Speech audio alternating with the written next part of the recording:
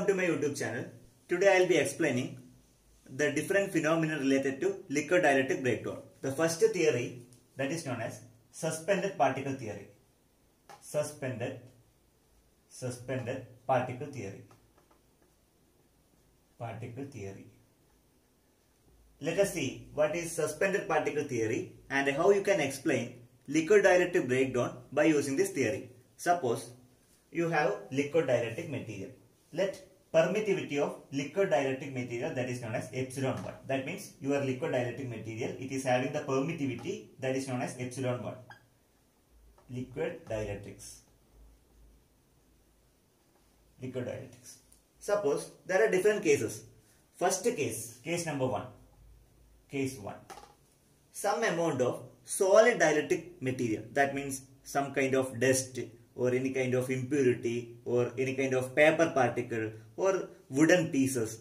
Uh, those kind of things are known as uh, solid dielectric material or solid impurities. For example, I will be calling uh, solid impurities epsilon 2 that is the permittivity of permittivity of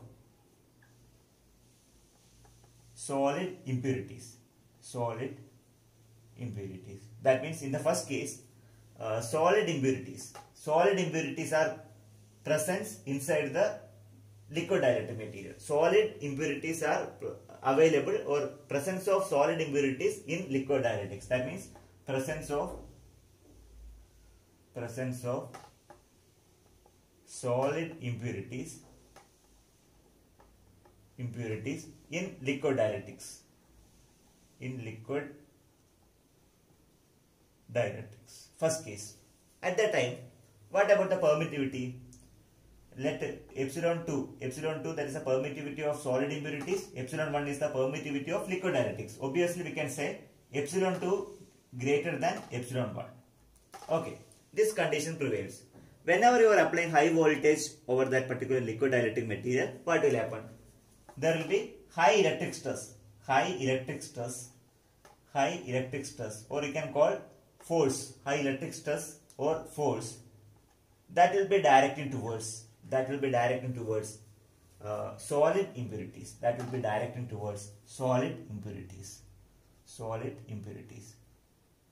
Why? Because solid impurities having high permittivity, high permittivity so that electric stress will be directly moving towards solid impurities. That will be resulting uh, the entire dielectric breakdown. As a result, uh, the liquid material is getting conductive. Liquid dielectric material is getting conductive. That is the first case. Moving on to next case, case number 2. Case 2. Let epsilon 2, I will be calling epsilon 2. Epsilon 2 is the permittivity of gaseous bubble or gaseous material or gaseous impurities. Epsilon 2 is the permittivity, permittivity of gaseous impurity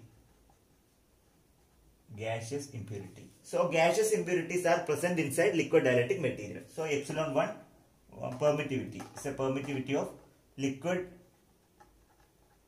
liquid dielectrics liquid dielectrics for second case what will happen for permittivity so epsilon 2 is the permittivity of gaseous impurity. Epsilon 1 is the permittivity of liquid dielectric material. So in this case, epsilon 1 exceeded by epsilon 2. Epsilon 1 is greater than epsilon 2. As a result, whenever you are applying high voltage, you are applying high voltage. Okay, you are applying high voltage. That results, what will happen whenever you are applying high voltage? Uh, electric stress, high electric stress, high electric stress that will be moving towards where liquid dielectrics that will be moving towards liquid dielectrics as a result uh, the stability the stability of the liquid dielectric material is getting changed. Moreover the liquid dielectric material is getting conductive so dielectric breakdown will be taken place. This theory is generally known as suspended particle theory. So one more information. The total force the total force that will be generating over the liquid dielectric material that is given by uh, 1 by uh, 2 into r cube 1 by 2 into r cube it multiplied by epsilon 2 minus epsilon 1 whole divided by 2 epsilon 1 2 epsilon 1 plus epsilon 2 plus epsilon 2 into gradient of E square where E is known as electric field, magnitude of electric field. Epsilon 1 is the permittivity of liquid dielectric material. Epsilon, T, epsilon 2 is the permittivity of gaseous or solid impurity. Then R is the uh, radius, the radius of impurity. We are assuming here there is one assumption. Uh, the impurity will be assumed as a sphere. Impurity will be assumed as a sphere. Okay, that, that is why it is known as the radius of impurity R. Certain assumptions should be made. So this is the total electric stress or a force that is applicable to the liquid dielectric material. Because of this force, what will happen?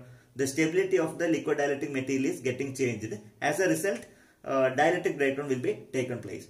That means property of that liquid dielectric material gets spoiled or getting changed or getting damaged. Okay, this theory is known as suspended particle theory. Hope you understood what is suspended particle theory. Do explain separate cases. Case 1. What will happen? Uh, solid impurity present inside the liquid dielectric material. Whenever you are applying high voltage, what will happen? Electric stress will be directly moving towards solid impurities. Similarly, second case also can be explained. Gaseous uh, bubbles or gaseous impurity present inside liquid dielectric material. As a result, what will happen?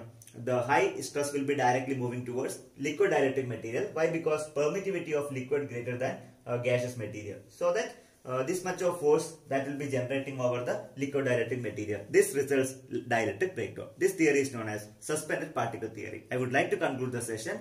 Uh, thanks for uh, listening this video. Kindly subscribe and share with your friends. Thank you very much.